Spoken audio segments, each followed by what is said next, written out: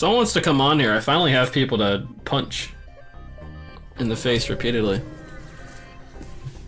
That would be fun times. Beacon, huge rebel shipper and scaffolding and construction drones filling the sector. The entire system looks devoted to ship construction. Let's look around, because definitely a giant ship's not gonna. It's a second rebel flagship. oh no. I've made a horrible mistake. Alright. This looks like missiles, this looks like lasers, so I should be focusing on this. They're gonna board us, but we have people to deal with that. I didn't know this was even a thing. I've never actually gone to the Rebel Stronghold before. Alright, let's uh break their flagship, I guess.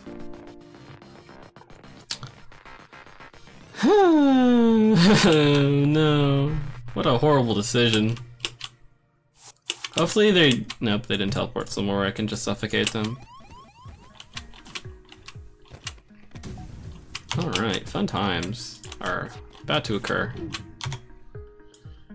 We are gonna mini beam them to death. It's gonna be great. We're gonna have fun times. It's gonna be a blast. That was not an intended pun. Okay, I can take those hits. Those are not gonna get through. Just keep knocking their shields down. Who's dying? How are you guys dying?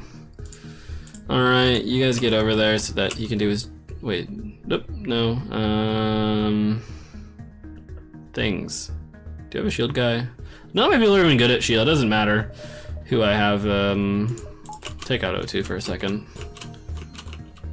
Oh, I didn't even think to cloak. Yeah, see? This is what happens when you take your O2 down for like five seconds. Then they break it and... Okay, I need to... I can just kill them. Assuming they don't have like multiple faces. As well, I doubt they do. They do not. Probably. My goodness. That was not that hard of a fight, though. I mean, our our build isn't bad, but the mini beam's really not that good.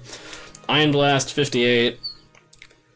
Uh, delayed by two jumps, five missiles, five jumps. Nice. Good stuff. And I get a ship for it, apparently. Releasing, direct an interesting Federation ship signal. Apparently the rebels were reverse engineering the advanced weaponry on a prototype Federation cruiser. You don't know how they captured the ship intact, but he programmed its FTL drive to turn the ship to the nearest Federation base. Nice. That's kind of cool.